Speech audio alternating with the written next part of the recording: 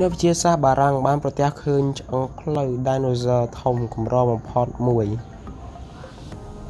អ្នកវិទ្យាសាស្ត្រនៅភាគនិរតីប្រទេសបារាំងបានរកឃើញឆ្អឹងផ្លូវឌីណូស័រដ៏ធំមួយ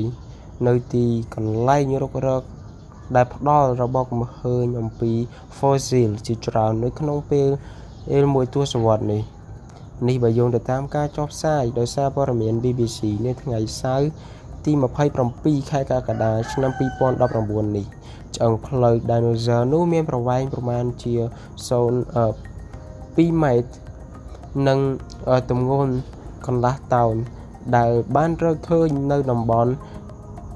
Angus ដែលត្រូវបានគេជឿជាក់ថាជា fossil របស់ពពួក Dinosaur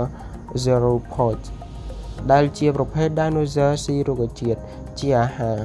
ដែលកន្ទុយរបស់វានឹងកវែងហើយជាប្រភេទសត្វដែលមានមាឌធំបំផុតមួយនៅលើផែនដីនៅយុគកាសម័យ Jurassic អ្នកជំនាញខាងឆ្អឹងសត្វបាននិយាយថាពួកគេមានការភ្ញាក់ផ្អើលយ៉ាងខ្លាំងចំពោះស្ថានភាពឆ្អឹងដែលអាចរក្សាទុកបានយូរឆ្នាំយ៉ាងនេះ។ ព្រោះប្រភេទ Dinosaur នេះបានរស់នៅលើភពផែនដីយើង តាំងពី140លានឆ្នាំមុនមកម្ល៉េះគួរបញ្ជាក់ផងដែរថាតំបន់ Aegis គឺជាតំបន់រុករកឆ្អឹង Dinosaur ដ៏ពិសេសមួយនៅអឺរ៉ុបហើយមានឆ្អឹងប្រមាណជា7500បំណែកនៃប្រភេទ Dinosaur 45ប្រភេទផ្សេងៗគ្នាត្រូវបានគេរកឃើញនៅតំបន់នោះហើយនេះបើ